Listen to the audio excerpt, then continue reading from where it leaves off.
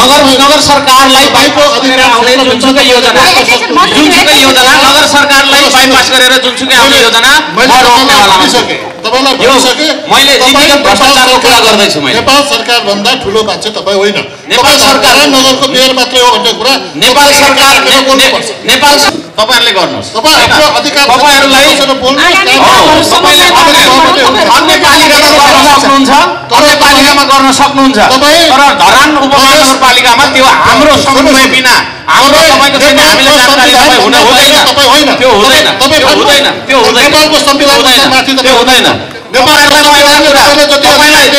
तपाईँलाई तपाईँलाई फेरि पनि तपाईँ यहाँ होसमा बोल्नु आउँछु। सबैले धेरै गाली धेरै गर्छ। यहाँ सुन्नुहोस् होइन भ्रष्टाचार त्यो नीतिगत भ्रष्टाचार होइन त्यो नीतिगत भ्रष्टाचार होइन त देखाउनुहोस् न त अधिकार एकछिन, हो त्यो। म यहाँ पब्लिकलाई पब्लिकलाई एकै- एकैछिन। एकछिन एकछिन सबभन्दा ठुलो हुन्छ पब्लिक है त। बोध गर्छु। त्यसले गर्दै कोसीबाट पानी ल्याउनुपर्छ भनेर मैले अहिले पहिल्यैदेखि भनिराखेको। गीत गाउँदा गाउँदा अब त ठाउँमा आइयो। काम पनि गरिराखेको छु। हाम्रो माननीयज्यूहरूलाई पनि मन्त्रीज्यूहरूलाई म लगे लगेर जान्छु। लिएको पानी हामीले लिफ्ट गरेर खानुपर्छ। अब सोहोरेर तल तल उधौ बगेर जाँदै गरेको पानीलाई मैले चाहिँ पाइपमा लिएर धराने जनतालाई खुवाउनु खोज्दाखेरि त्यसमा आपत्ति मान्नुपर्ने कुरा केही पनि छैन।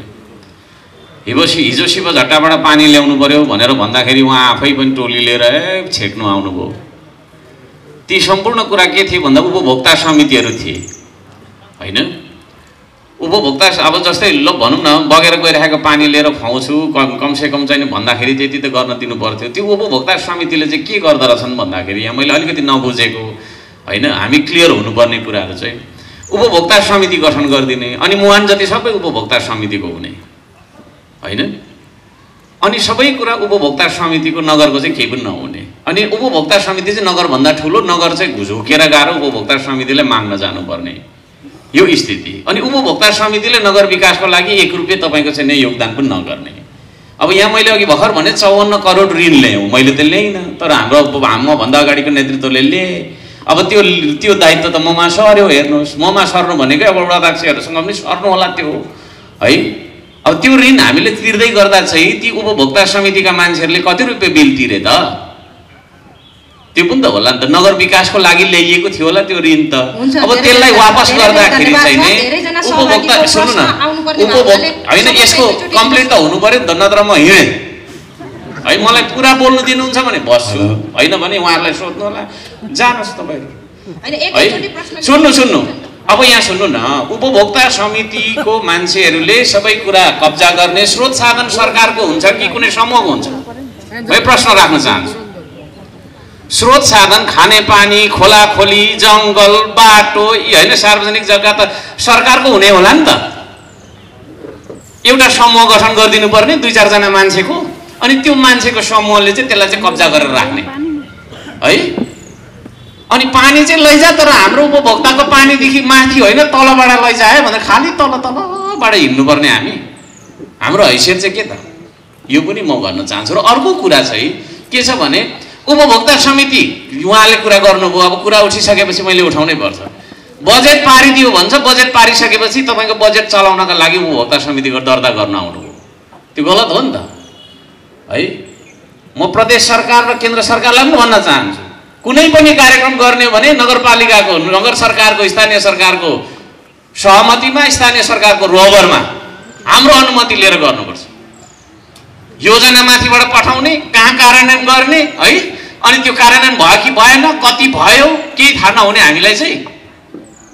त्यसो भन्दा किन चाहियो त यो अफिस? बन्द गर्दा भइगयो नि। त्यसले गर्दाखेरि केन्द्र सरकारले लगाउने बजेट प्रदेश सरकारले लगाउने बजेट सम्पूर्ण कुरा नगर सरकारलाई सोधेर हाम्रो अनुमतिमा हाम्रो सहमतिमा हाम्रो तपाईँको छैन योजनाको ब्याङ्कमा राखेर अभिलेख राखेर गर्नुपर्छ गरिनुपर्छ। म त्यस्ता सम्पूर्ण योजनाहरू रोक्नेवालामा छु। जुन योजना मेरो थ्रुबाट आएको छैन आउँदैन। त्यो सम्पूर्ण कुरा रोकिन्छ।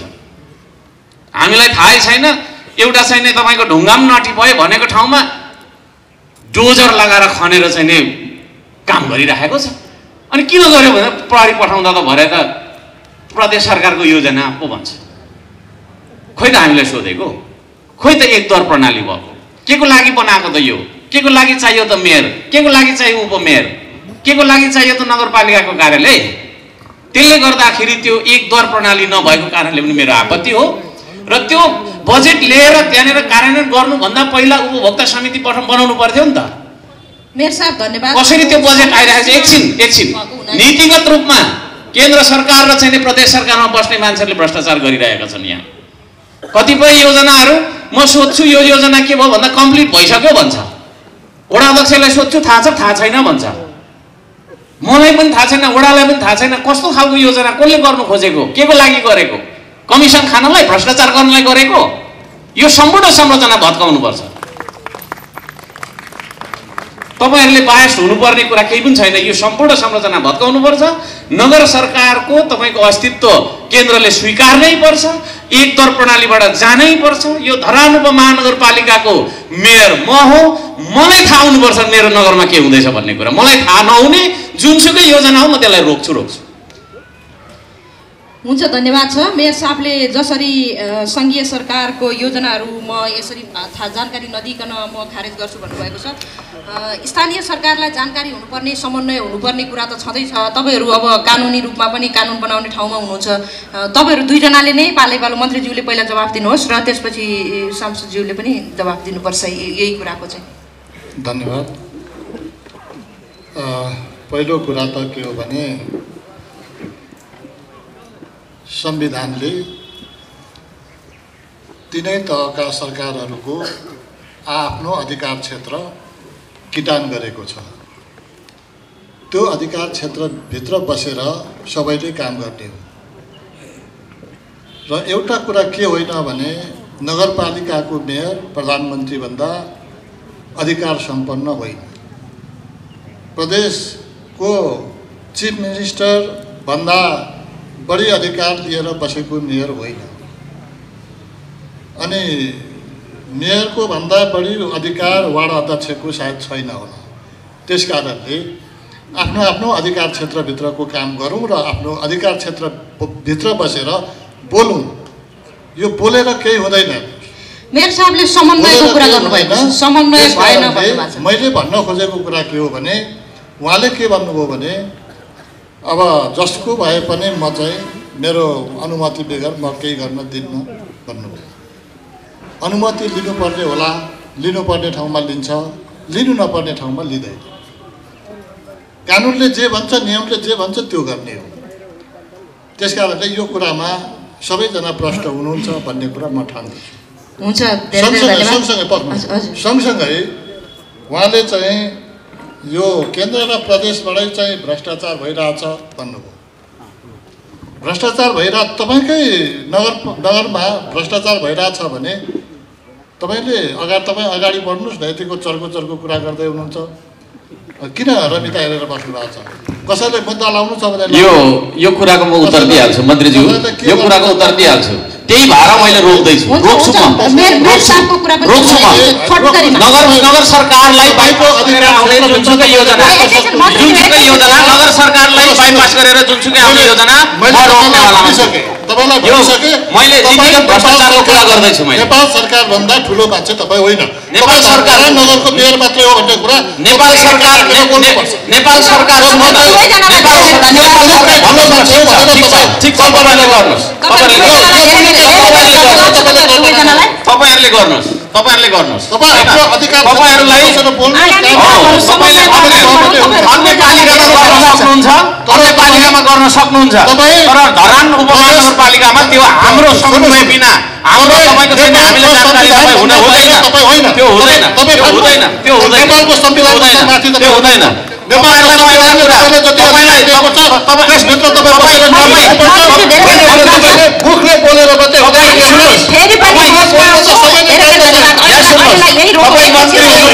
तपाईँलाई म एउटा कुरा- संविधानले जति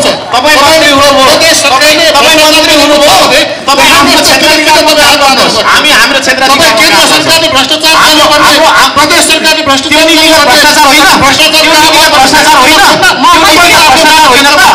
देखाउनुहोस् न त। सबभन्दा ठुलो हुन्छ पब्लिक। पब्लिकलाई सोधौँ है त ल म पब्लिकलाई एउटा प्रश्न गर्छु। स्थानीय नगर सरकार स्थानीय सरकारको समन्वय बिना सहमति बिना प्रदेश सरकारले आएर जेसुकै गर्छ। जत्र सुकै जेसुकै गर्छ। त्यो मान्नुपर्छ भन्ने छ? उहाँहरूले योजना पार्नुहुन्छ। मैले भन्दैछु नीतिगत भ्रष्टाचार हो यो।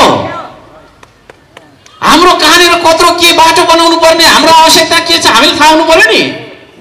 होइन? तपाईँको तपाईँको बाटो कत्रो हुनुपर्छ भन्ने कुरा चाहिँ प्रदेश सरकार सुन्नु न प्रदेश प्रदेश सरकार म तपाईँलाई सम्मान गर्छु मन्त्रीज्यू।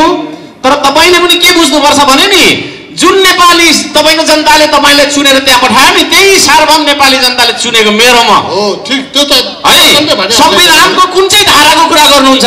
स्थानीय सरकारलाई चाहिँ तपाईँको कारिन्दाको रूपमा कजाउनुपर्छ भनेर प्रदेश सरकार र सङ्घीय सरकारले गर्नुपर्छ भनेर लेखेको कहाँ छ?